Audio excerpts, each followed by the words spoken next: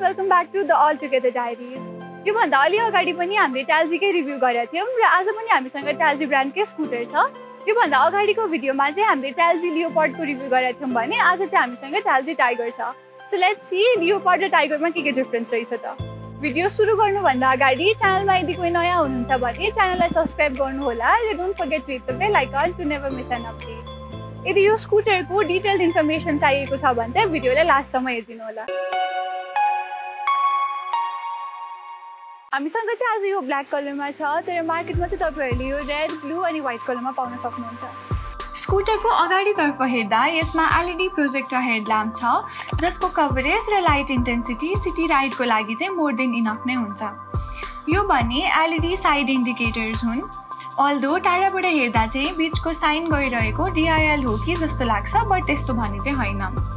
Talking about it's wheel अगाडिपट्टि बाह्र इन्चको व्हिल छ and it's equipped with disc brake and telescopic suspension back साइडमा हेर्दा चाहिँ रेक्ट्याङ्गुलर सेप ब्याक लाइट छ एन्ड एलइडी साइड इन्डिकेटर्स छन् व्हिल सेम अगाडिको जस्तै छ तर सस्पेन्सन भने ड्युल मोनोसक सस्पेन्सन हो नट टु फर्गेट यसमा एआरएस ब्रेकिङ सिस्टम भएको कारणले ब्रेकिङ सेफ पनि छ फ्रन्ट ड्यासबोर्डमा टाइल्जीले सिक्स इन्च भिएएलइडी स्क्रिन प्रोभाइड गर्छ जुनमा mileage current speed battery health Bluetooth लगायत थुप्रै अरू कुराहरू देख्न सकिन्छ तर ब्लुटुथ अप्सन भने चाहिँ अहिले सपोर्ट गर्दैन स्कुटरको नयाँ अपडेट आएपछि चाहिँ यो सबै फङ्सन्सहरू चल्छ भनेर कम्पनीले क्लेम गरेको छ यसमा चाहिँ एम्पल लेग स्पेस पनि छ र यो स्कुटरको ground clearance one hundred seventy five millimetre भएकोले राइड कम्फर्टेबल नै हुन्छ।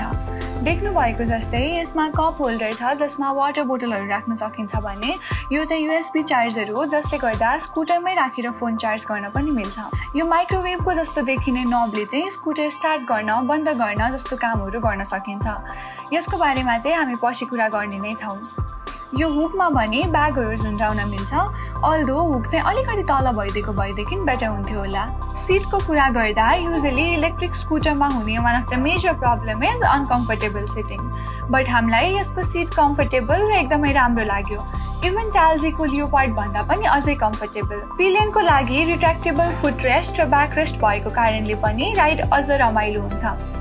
यसको अन्डरसिट स्टोरेज खोल्न पनि एकदम सजिलो छ। यहाँ अगाडि भएको नोबबाट पनि खोल्न सकिन्छ भने रिमोटको बटनलाई डबल प्रेस गरेर पनि खोल्न सकिन्छ।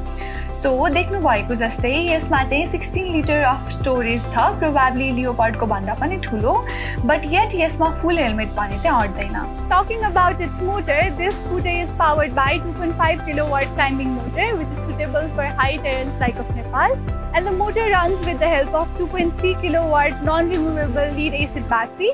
Although lithium ion र रिमुभेबल ब्याट्री भइदिएको भए चाहिँ अझै सजिलो हुन्थ्यो होला। ट्याल्जीले यो स्कुटर चार्ज गर्न यस्तो खालको चार्जर प्रोभाइड गर्छ र यो चाहिँ प्लास्टिकले बनेको छ। यो स्कुटर फुल चार्ज हुनलाई फोर टु सिक्स आवर्स लाग्छ र चार्जिङ पोर्ट चाहिँ यहाँ दिएको छ। यसले चार्ज गर्न अब चाहिँ यो स्कुटरलाई स्टार्ट गर्नेतर्फ लागौँ है त। यो स्कुटर चाहिँ थ्रीवटा टेक्निक्सहरूबाट स्टार्ट गर्न मिल्छ। फर्स्ट वान बिङ द रिमोटले स्टार्ट र सेकेन्डमा चाहिँ नबलाई यसरी घुमाएर स्टार्ट गर्न सकिन्छ। And the last one is साँचो हालेर स्टार्ट गर्न सकिन्छ। जसमा चाहिँ यो नबको बिचमा भएको कभरलाई यसरी खोलेर भित्र साँचो हाल्न मिल्छ। दिस इज सो कुल हामीले यसको पावर टेस्ट गर्नलाई यसलाई उकालोमा चलाएर पनि हेऱ्यौँ। सो पिलियन राखेर राइड गर्दा पनि उकालोमा यसलाई तान्न खासै गाह्रो भएन।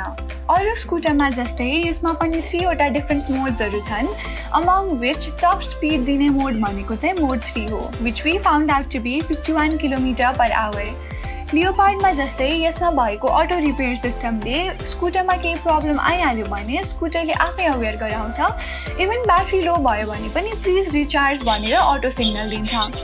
अल्सो इफ कुनै मेजर ड्यामेज स्कुटरमा भइहाल्यो भने यही बटन थिचेर स्कुटरलाई मेन्टेनेन्स गर्ने ठाउँसम्म लग्न पनि सकिन्छ। लियोपर्ड जस्तै अर्को सिमिलर फिचर भनेको चाहिँ एन्टिसेप्ट सिस्टम हो। सो किले स्कुटर लक गरिसकेपछि अरू मान्छे आएर स्कुटर चलाउन खोज्यो भने स्कुटरमा ठुलो साउन्ड आउँछ र स्कुटर अगाडि मुभ गराउन खोज्दा अटो विल लक भइदिन्छ। सो स्कुटरलाई चोर्ने चान्स चाहिँ निकै नै कम हुन्छ। यस्तै फिचर चाहिँ अरू सबै टु विलर्स र फोर विलर्समा पनि भइदिएको भए साह्रै राम्रो हुन्थ्यो होला। फाइनली यो स्कुटरको अब दुइटा मोस्ट इम्पोर्टेन्ट कुरा गरौँ. The first one being the mileage and the second one being the cost कम्पनीले क्लेम गरे अनुसार यो स्कुटरले फुल चार्ज हुँदाखेरि नाइन्टी फाइभ किलोमिटरको माइलेज दिन्छ र कस्टको कुरा गर्नुपर्दा चाहिँ नेपाली मार्केटमा यो स्कुटरको cost one lakh ninety five thousand rupees छ। आजको दिनमा इलेक्ट्रिक स्कुटरहरूको प्राइस कम्पेयर गर्ने हो भने चाहिँ यतिको प्राइस भएको स्कुटरलाई मिड रेन्ज नै भन्न मिल्छ ट्याल्स लियोपार्डको भिडियोमा सबैभन्दा धेरै सोधिएको क्वेसन कम्पनीले कति वारेन्टी दिन्छ र ब्याट्री चेन्ज गर्न कति लाग्छ? सो ट्याल्जी नेपालले ब्याट्री र मोटरमा वान वान इयरको वारेन्टी दिन्छ र कम्प्लिट ब्याट्री चेन्ज गर्न चाहिँ फोर्टी एट थाउजन्ड रुपिज लाग्छ। सबैले सोच्ने कुरा पनि यही नै हो द्याट इज ब्याट्री चेन्ज गर्दाखेरि महँगो पर्छ। तर त्यस्तो भने चाहिँ होइन।